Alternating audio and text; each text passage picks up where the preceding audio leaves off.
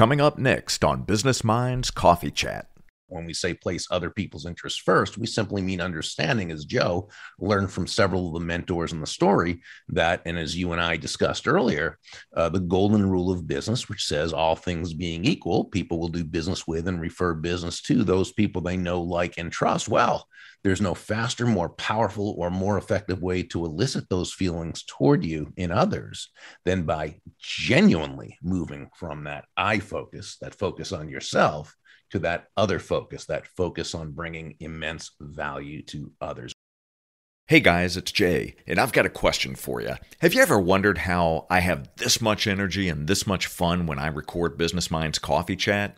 Well, part of it is the incredible guests we bring on, but the other part is how much I focus on high performance, both in terms of getting to the gym every morning and also how I fuel my body and my brain. You see, before I record any episode of this podcast or do any work that requires my total focus, when I need to perform at my best, I have a secret weapon that makes me feel like my best self.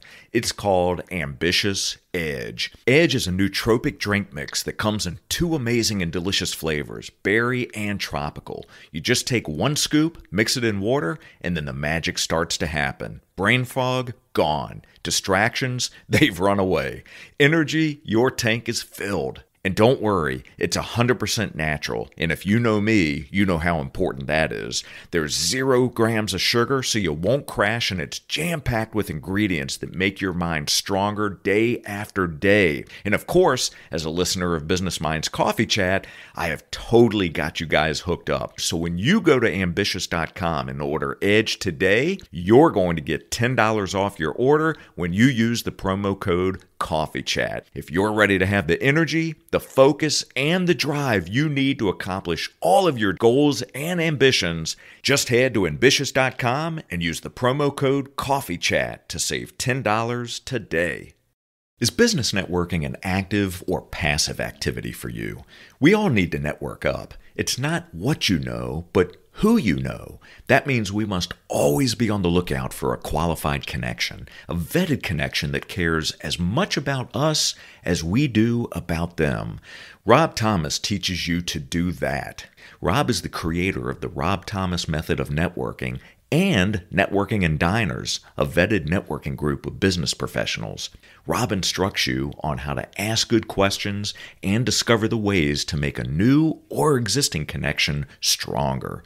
Rob can add value to your own process or can provide training on exactly how to identify, maximize, refine, and nurture your contacts. With networking, you get out of it what you put into it. Visit robthomasusa.com to unlock your networking skills and learn how to transform your connections into profitable relationships. Hi, this is Bob Burg, and you're listening to Business Minds Coffee Chat with Jay Scherr. Jay. Jay Scherr. Jay Scherr. Jay Scherr. Jay Scherr. Business consultant. Jay Scherr. Jay Scherr Business Consulting.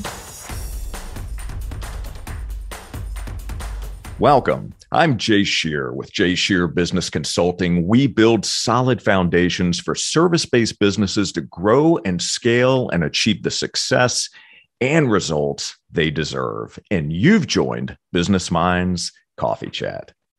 The late, great Zig Ziglar said, You can have everything in life you want if you will just help enough other people get what they want. Well, on today's episode, we're going to talk about the meaning behind this quote, shifting our focus from getting to giving, giving value to others, the five laws of stratospheric success, and more. Our guest started in radio doing sports, then TV as a late night news anchor before getting into sales. A seminar he attended by Zig Ziglar changed the trajectory of his life. Today, he's a best selling author and Hall of Fame keynote speaker who successfully shows entrepreneurs, leaders, and sales professionals how to communicate their value and accelerate their referral business. Please welcome the man whose little story has positively impacted countless lives and businesses. Bob Burg. Bob, it's wonderful to wow. see you. Thank you so much for being here. Well, I got to tell you, you know, I, I, told you earlier how how great I think your voice is.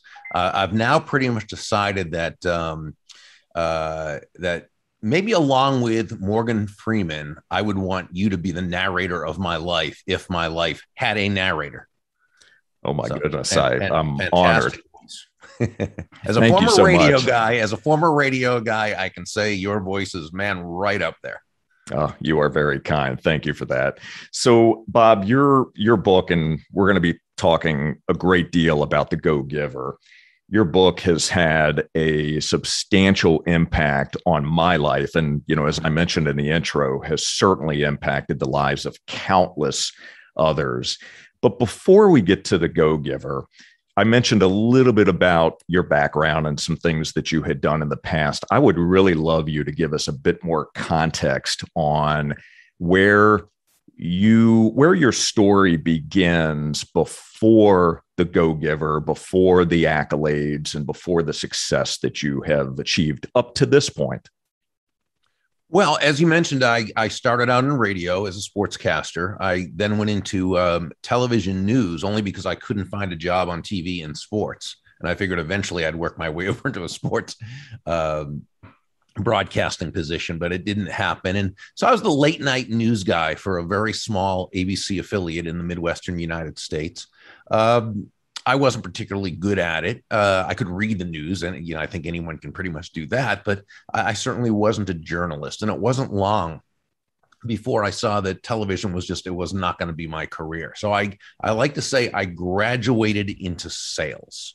Now the challenge was I had I had no experience in sales, uh, no formal training in sales, and the company where I I worked uh, it just wasn't something that they you know held to be a high value. So i was pretty much on my own and and i floundered for for a few months until i i finally one day i found myself in a bookstore and and was looking for something i didn't realize i was looking for books on selling because i didn't realize at the time that books on selling even existed this is 40 years ago and that it just wasn't as prevalent it wasn't something everyone knew that there was sales training out there uh, but I did see two books. One was by Tom Hopkins, the other by Zig Ziglar.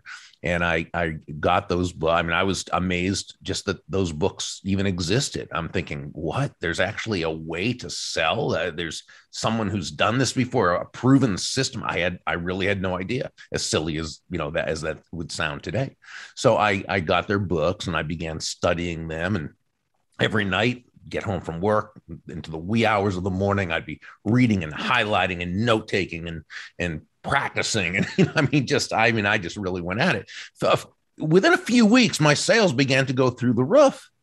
And the interesting thing is, there was really no significant difference between the Bob Burg of three weeks ago and, and the Bob Burg three weeks later, other than I now had a methodology to follow. I had a system. And I personally define a system simply as the process of predictably achieving a goal based on a logical and specific set of how to principles. The key being predictability. If it's been proven that by doing A, you, you can get the desired results of B, then you know that all you need to do is follow A and follow A, you know, do A, and eventually you're going to get the desired result of, of B. So I just love that idea. Sales became a lot more fun. Uh, and I began really making a study of, along with sales, of personal development because I began to realize that selling wasn't just about selling, it was about building yourself. It was about growing yourself. And so uh, I started getting all the great books, the books from Og Mandino and and and of course, you know, uh, Zig's I got his back then cassette tapes and and Tom Hopkins cassette tapes. I started attending seminars whenever I could such as Zig's and um, you know, books like How to Win Friends and Influence People and The Magic of Thinking Big and Psycho-Cybernetics and uh, Think and Grow Rich and all the, you know, all the classics that we all, I'm sure, have in our, in our, uh, on our bookshelves. Uh, but so that was really, uh, I just loved it and eventually worked my way up to uh, sales manager of another company and, uh, and then started showing others how to do what was working for me. And as they say in the old Seinfeld episode, yada, yada, yada, 35 years later, 40 years later, whatever, here I am speaking with you. Uh, fantastic. Well, I, thank you for for giving some added context around that. Greatly appreciated. I I want to go back. You know, since you brought up Zig Ziglar, I mentioned Zig in the intro as well, and that you are also what, you also, by the way, this is important. You are one of the few people who actually got that his famous quote, who, who quoted it correctly because typically people mangle that quote. It's one of the most beautiful beautiful quotes I think that has ever been uh, spoken ever. And very few people actually go it's it's a pet peeve of mine as you can tell to take such a magnificent quote and most people mess it up. And uh and and you got it perfect. So thank you for doing that in honor absolutely.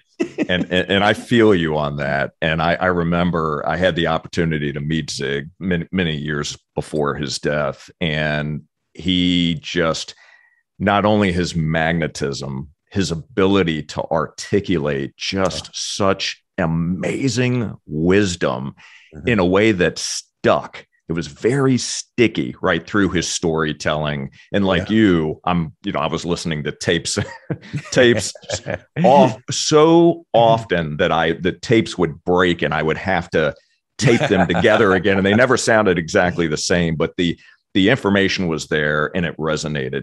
But what I wanted to to ask you about that quote, and I'm sure you've like like you or like me, you've probably heard that quote a million times. What does what does that quote mean to you when you break it down? It seems so simple, but and it is, but it's not common practice. So right.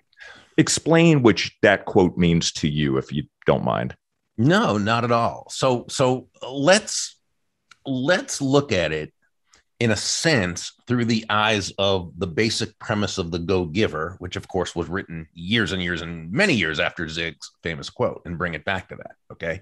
So the premise of the go giver and you alluded to this earlier is that shifting your focus right? So taking it off of yourself and placing it placing it onto others, shifting your mm-hmm. focus from getting to giving. When we say giving in this context, we simply mean constantly and consistently providing immense value to others.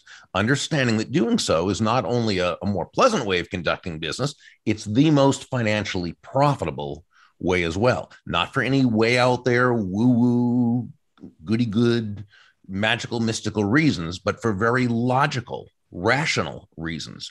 When you're that person who can move from an I focus or me focus to an other focus, looking for ways to serve others, make their lives better, discover what they want, what they need, what they desire, help them solve and overcome their challenges, help bring them closer to happiness. When you can do that, people feel good about you. People want to get to know you. They like you. They trust you. They want to be in a relationship with you. They want to do business with you. They want to tell others about you. Okay. So now let's go back to what Zig said, right? You can have everything in life that you want if you will help, if you will first, right? Help other people get what they want. So if you can focus on them, and let's face it, it's got to be, and this is what Zig taught and understood so well. The focus must be on them. Why? Because, and I say this uh, typically whenever I speak at sales conferences, okay, the first thing I'll say is, uh, you know, nobody's going to buy from you because you have a quota to meet. Okay. They're not going to buy from you because you need the money. You have a mortgage payment to meet. You want to send your kids to a good school. They're not going to buy from you even just because you're a really nice person. They're going to buy from you because they believe they will be better off by doing so than by not doing so. And in a free market based economy, uh, free market simply meaning no one's forced to do business with anyone else, right? They do so voluntarily. Uh, when you think about it, that's the only reason why anyone should buy from you or from me or from Zig or from anyone else. So, what Zig was saying is if you want to get what you want, if you want to get the results you want, you can only do it through helping other people get what they want. And that's selling. That's what selling is. Selling is simply discovering what the other person needs, wants, or desires and helping them to get it.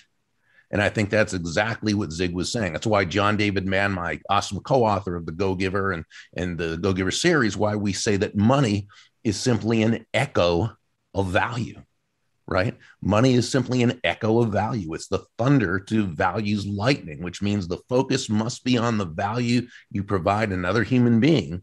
The money you receive is simply a natural result of the value you've provided. You can have wow. everything in life you want if you'll just help enough other people get what they want. Zig Ziglar. so beautifully said in your voice with the additional context around it. And, and I love that so much. And I want to make sure that we are highlighting this particular point for all of our, our audience, those that are watching and those that are listening. In my line of work, one of the things that I see often is that we're not asking the questions, we're not asking what our customers want. We are making assumptions that they want what I have. Absolutely. And let's spend time truly understanding what their needs are and do I have the solution that can fulfill those needs? Yeah. So Jeff Shore, one of today's great salespeople, sales professionals, and sales sales teachers and best-selling authors, he says most of the most salespeople in the world are obsessed with solving the problem before they actually um, or are, are obsessed with providing the solution before they actually understand the problem. Mm. So uh, my apologies to Jeff for mangling that his his wonderful quote and lesson but but that really is you know and as human beings because we see the world from a certain viewpoint namely our own our own set of beliefs right our belief systems we tend to believe that other people see the world basically the same way we do Right. And it's not true. So when we talk about providing value to others, we need to first understand the difference between price and value. Price is a dollar figure, it's a dollar amount, right? It's finite, it is what it is. Value is the relative worth or desirability of a thing, of something to the end user or beholder. In other words, what is it about this thing, this product, service, concept, features, benefits, what have you, that brings so much worth or value to another human being that they will willingly exchange their, whether it's time, money, what have you, for this? Okay. But here's what we've always got to understand as salespeople, and this is so important value is always in the eyes of the beholder. And that beholder is our prospective customer or client. It's not what we believe is of value about our product or service. It's not what we think they should believe is of value. it's what they believe is of value. Such such a powerful point and you've obviously touched on the very first law of stratospheric success from the go giver. Before we go there, though, this wasn't your first book. And we're talking about relationships. We're talking about human relations. We're talking about how we engage with others, building rapport and understanding what our our current clients and potential prospects what their needs are, yeah. right? And being able to fulfill those needs. So your your first book which came out in the 90s was Endless Referrals and that book really was a, a how to book. It was a, a, a system, if you will, on how to build relationships. So, just very briefly, if you could touch on endless referrals and how that came to be. Yeah, well, that was written for salespeople and entrepreneurs who knew they had a great product or service and knew it brought fantastic value to others, but they they perhaps weren't confident or comfortable with going out into their local communities and developing the kinds of relationships that would cause people to want to do business with them and or refer them to others. So endless referrals was as you as you said a system right? The process of predictably achieving a goal a system for being able to to develop those kinds of relationships in a way that was very very confident building and, and, and made you feel very comfortable both you and the uh, prospects that you would be that you would be meeting. It was based on an overarching premise and that i guess is sort of in my calling card since that book or since i've been speaking which was actually even a little before that. And and that is that all things being equal all things being equal people will do business with and refer business to those people they know like and trust that's really what what what that was based on. Okay, perfect. So I want to ask you, since we're just touching on that book, the topic of networking. There's many in our audience who are involved in different networking groups, different business groups. As you look over your body of work and your experience, what piece of advice would you give to, let's say, maybe a relatively new business owner who doesn't know a lot of people yet, is in a community where they're starting to get involved in maybe some networking events? What mm-hmm. can they do? What should they be focused on when they go to a networking event? And how can they how can they achieve the greatest level of, of success for themselves in networking? Well, I think the first thing is to understand what networking is and what it isn't, because it's a term that has, you know, been around for a long time, but is I think is so convoluted in meaning only in that it can mean different things to different people. So you say the word networking and and you know you get people groaning, "Oh, no, not networking." But they're not groaning because of what networking is. They're groaning because of what they think networking is, right? So so many people even today have this this idea in their mind when they hear the word networking, they picture the you know the stereotypical networking sales guy right? The one who works the crowd who meets people backhands glad hands shakes hands slaps hands sticks a business card aggressively into people's faces and says hey give me a call cut you a deal right? Or or something like that. And of course that's that's not networking.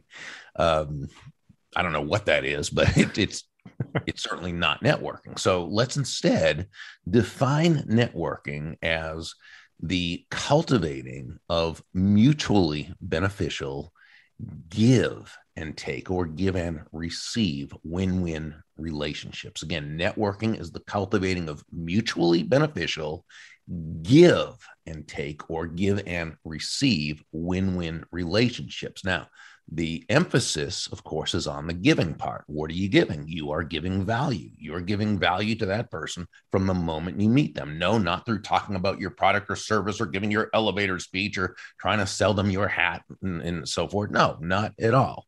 It's simply by focusing on them, focusing on on getting to know them asking questions that make them feel good about themselves that allow you to establish a relationship with this person that you can then follow up and follow through with in terms of cultivating that relationship. When we approach it that way and there by the way you know back when i wrote uh endless referrals uh, gosh i think there were like maybe two or three other networking books out there. Uh, uh, uh, Anne Boe's uh, Is Your Networking, uh, Susan RoAne's How to Work a Room, and there might have been a couple others, and then mine, Endless Referrals. So there weren't a lot. Now there's tons of them, and they're all great. I mean, you know, I, I read lots of them, and they're fantastic. And you've got someone like, you know, Ivan Misner, who founded BNI, Business Network International, has written about 15 of them, and he's probably the master of all in, in terms of you know when it comes to this this topic and and you've got so many people, so many men and women who've written so many wonderful books on networking. And the theme is pretty much the same with all of us it's take the focus off yourself and focus on others, on how you can build relationships with others. There's nothing quite like the intoxicating aroma of fresh brewed coffee the anticipation and the way that first sip makes you feel like you have the world at your fingertips. Since 2012, 1565 Artisan Coffee has been roasting the finest 100% pure Arabica coffee. Their coffee is small batch roasted in St. Augustine, Florida, to capture the essence of life there brave, authentic, enduring, soulful and honest. With five signature blends to choose from, there's plenty of happiness to enjoy. From their medium dark roast cannonball with notes of brown sugar, chocolate, and toasted marshmallow, to their light roast estuary blend with notes of cocoa, dark cherry, and mild citrus. One of my favorites is their medium roast stump knocker with notes of toasted pecan, chocolate, and stone fruit. When you're ready to discover your happy place and enjoy the perfect cup of coffee that makes you smile, visit 1565coffee.com. Having a strong online presence and engaging content that maximizes your brand's message and delivers results is a must have today. With so many so called web designers flooding the market, it's important to work with someone who truly has the knowledge and experience, is a trusted partner, who puts customers first, understands their business, and has a history of proven results. I trust my web development and maintenance to Chenzo Does Web. From web development to digital marketing content creation to SEO optimization, Chenzo does it all. When you're ready to level up your digital marketing strategy and grow your business, visit chenzoweb.com. He does web so you can do you. And now let's get back to the show. Now, I would always start when, you know, by understanding that when you go to this first networking meeting, okay, and it might be your that stereotypical Chamber of Commerce networking exchange, or it might be a charity event. Uh, it might be some some business social function put on held by you know whomever in your town, and you have a great chance to meet some people. When you go to this meeting, and you can know nobody there, it's okay, okay. But but you know you're gonna see people and you're going to see people who look approachable. You're going to see people who are surrounded by other people who are hanging on to their every word. And there's a good chance that that's a, a center of influence someone you might want to meet. You might get there a little early and, and kind of help with the setup and and just kind of get to know a few people who can maybe introduce you to some people. But the big thing is that you don't have to meet a lot of people at any one of these kinds of events. You'll meet a few people and you'll engage with a few people. And when you do this you'll place your focus on them. You'll you'll understand that um, you know to the degree that you can ask them questions about themselves that's the degree you're going to establish a relationship so let can may I share just a couple of questions for people to ask new networkers or new business people to ask? Let's say you meet someone, his name is Gary. Gary sells copying machines. Okay. And again, you met Gary because you were at the hors d'oeuvres table at the same time. You made eye contact. Uh, he looked, he saw you, you smiled, he smiled. He said, Hi, um, and you said your name. He said, Oh, I'm Gary Malashevsky. And you said, Oh, what do you do, Gary? And Gary probably gave you his big elevator speech because that's what people do. Okay. When he asks you what you do, you just tell him just a one, a quick word, uh, you know, I'm an accountant with so and so, or uh, I sell real estate with so and so, or I'm an, an insurance broker with just because right, right now, as far as, you know, giving your big elevator speech, he doesn't care, right? He doesn't right. care. He cares about himself and his business. So th- there's always time. Okay. So what you want to do is instead kind of go back to focusing on him. I have questions. I call these questions feel good questions. Feel good questions are simply questions. They're not salesy, prospecty, intrusive, invasive. Uh, they just feel good feel good questions. They very quickly develop, establish a rapport. And you might ask them, So, Gary, how did you get started uh, in the uh, copying machine business? Or a little bit more elegant might be, How did you get started as an office products professional? Okay. And, and that's a question. It's not a slick question, not a clever question. In fact, it's a pretty mundane question when you think about it, right? Right. People love to answer that question. Why? Because you've just made them the star You've made them the movie of the week. You've basically communicated that even though we've just met, I want to know more about you. I find you fascinating. I want to hear your story. How many people ask Gary to share his story about how he got into selling copying machines? No one. Not enough. His own his own family has never asked him to share his story. And here's you, who he's just met, who rather than like everybody else trying to sell him a hat, right? Uh, you're instead asking him to share his story. And he's going to love that. Now, a follow up question, the second feel good question might be what do you enjoy most about your work? It, it probably sounds more like, uh, wow, you must have had some fascinating experiences. What do you enjoy most about your work? And again, just a feel good question, right? It flies on the face of so much traditional sales teaching where immediately we're supposed to, you know, find their pain, right? You know, reach into their heart and tear it out, right? So we can come to the rescue. But the relationship hasn't been established yet. Don't don't put that kind of pressure on yourself. To, you know, just and then and he answers that question. Now you can then ask what I call the one key question that will separate you from everyone else. And and that is to say, Gary, how can I know if someone I'm speaking with uh, would be a good prospective client for you? Right. Mm. Uh, yeah. How can I know if someone I'm speaking with is a good customer for you? Uh, a good setup, a good frame into that question is, you know, Gary, I always love connecting good people with other good people. Uh, tell me, how can I know if someone I'm speaking with is a good uh, client for you or would make a good client for you, however you want to say? It? And uh, he's going to just be blown away, you know, by this. Um, now, when you can, um, and by the way, if he's not in sales, but let's say has has you know something like he's in the accounts receivable department, or he's in the, the engineer of a company, or he's the CEO, or something where a prospect, remember, it's always values in the eyes of the beholder, where that wouldn't be of value to him. It same questions, same feel good questions. The key question might be, how can I know if someone I'm speaking with would be a good contact or connection for you, or someone you'd like to meet?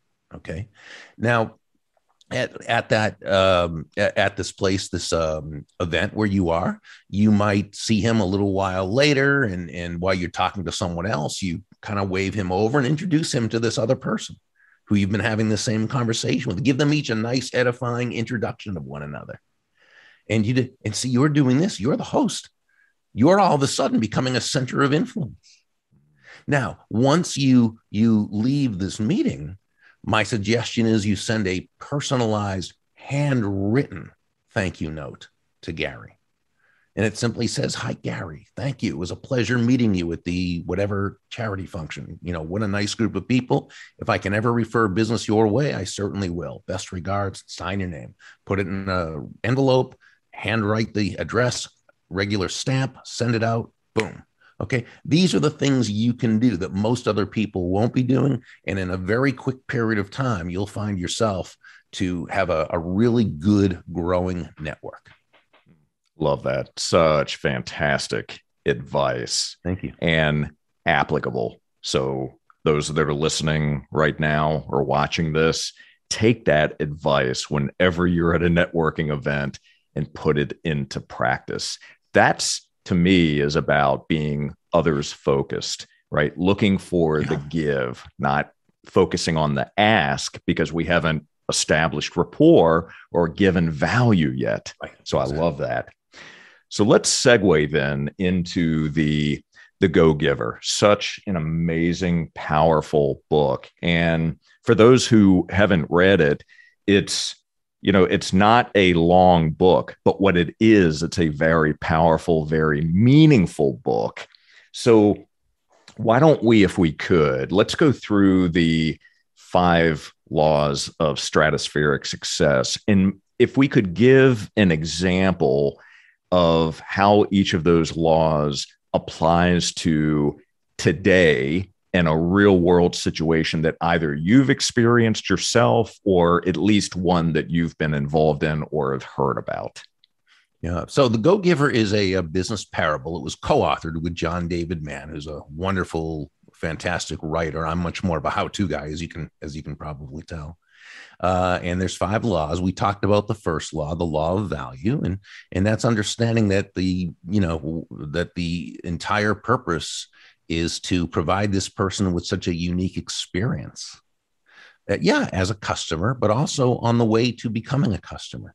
So, from the first time you meet this person, whether it's an inbound or an outbound call or contact through the relationship building process, the follow up and follow through, the um, sales process, the referral process, it's always making sure that this person feels special, they're treated special, and that the experience they receive is much more than just the intrinsic value of the product or service, which of course has to be great, but that the entire experience is is just so wonderful that they believe that they have received more in value, relative worth, or desirability than what they paid. While of course you make a very healthy profit.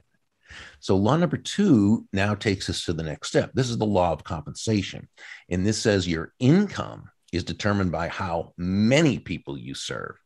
and how well you serve them. So where law number one is all about the, you know, give more in value than what you take in payment. Law number two says, tells us that the more people whose lives you touch with the exceptional value you provide, the more money with which you'll be rewarded.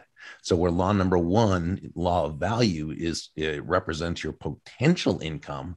Law number two, the number of lives you impact equals your actual income. That's why referrals are so very, very important because you're able to see more people in less time. You're able to sell on high value rather than low price. You go in on borrowed uh, influence, uh, borrowed trust, or vicarious experience. And uh, referred prospects are already of the mindset that that's how you do business since that's how they met you. So they're much more likely to easily refer you to others. Law number three is the law of influence, which says your influence is determined by how abundantly you place other people's interests first. Uh, no, this does not mean that you are a, you're a doormat or a martyr or self-sacrificial in any way. Absolutely not. When we say place other people's interests first, we simply mean understanding, as Joe learned from several of the mentors in the story, that, and as you and I discussed earlier, uh, the golden rule of business, which says all things being equal, people will do business with and refer business to those people they know, like, and trust. Well, there's no faster, more powerful, or more effective way to elicit those feelings toward you in others than by genuinely moving from that I focus, that focus on yourself, to that other focus, that focus on bringing immense value to others. Or as Sam, one of the mentors, advised Joe, to make your win all about the other person's win. Law number four, the law of authenticity says the most valuable gift you have to offer is yourself.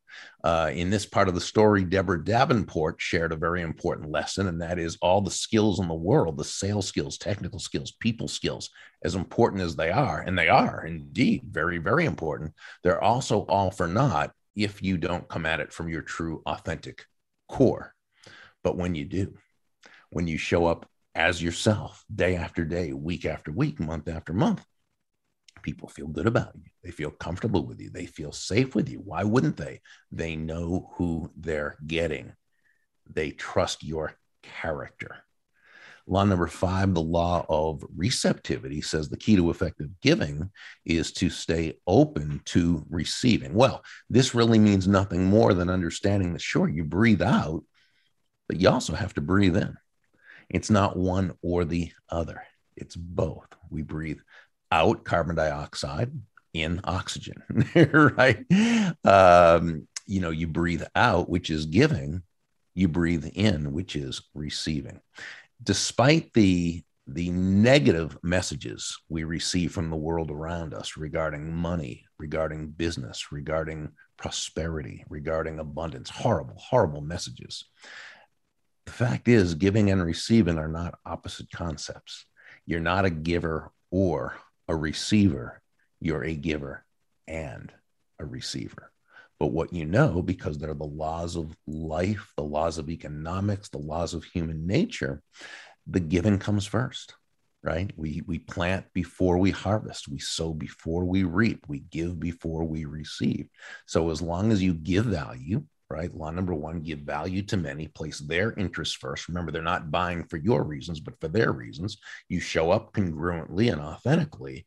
Now you've created that benevolent context to receive and receive in abundance. And as long as you allow yourself to receive, you will.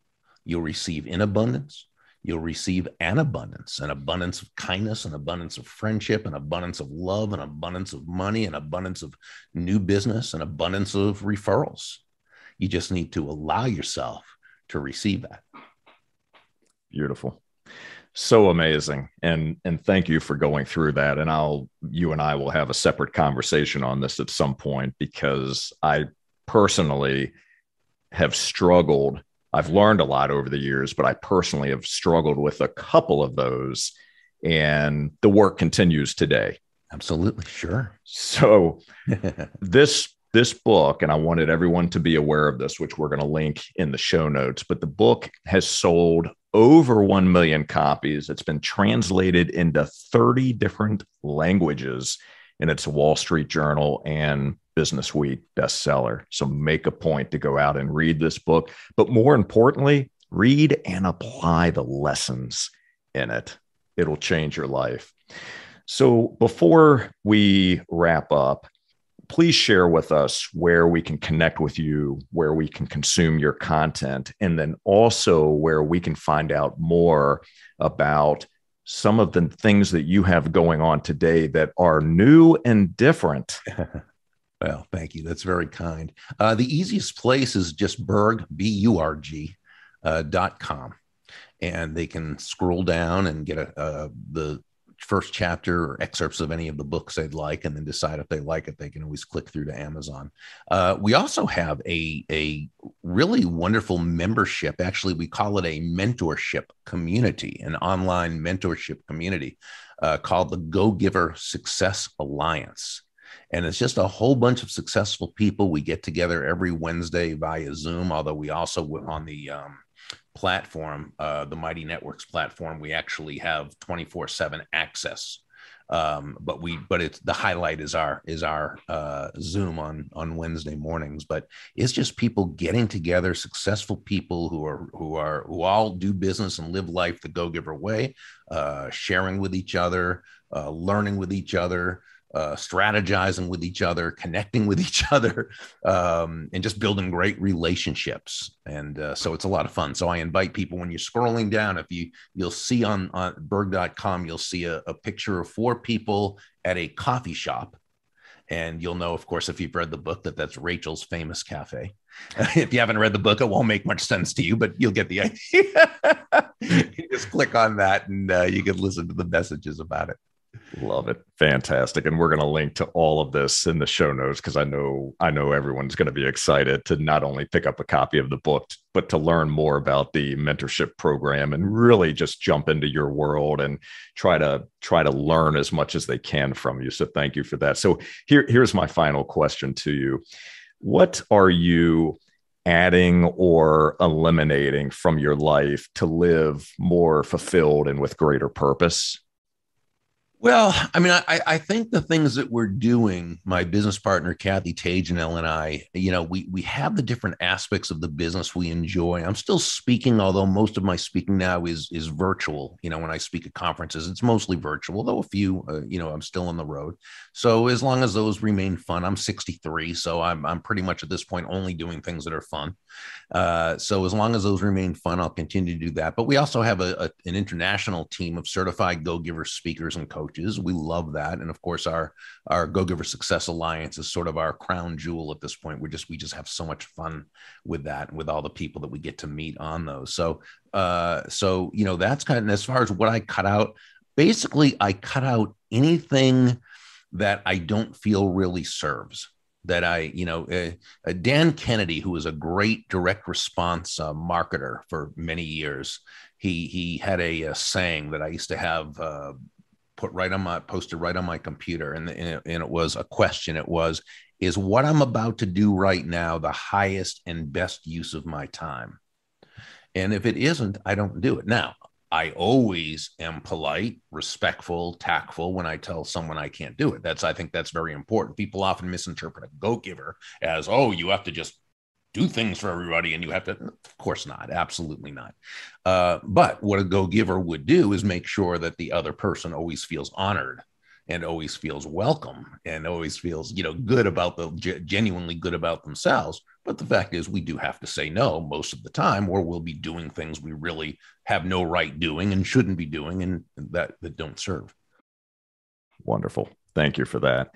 And bob thank you so much for taking some time to share your your wisdom and your knowledge share some information about your your books what's been going on in your world. This uh, the go giver is again such an amazing book and it has changed lives and will continue to. And it's you know it's amazing when you look back and you think about when the book was written.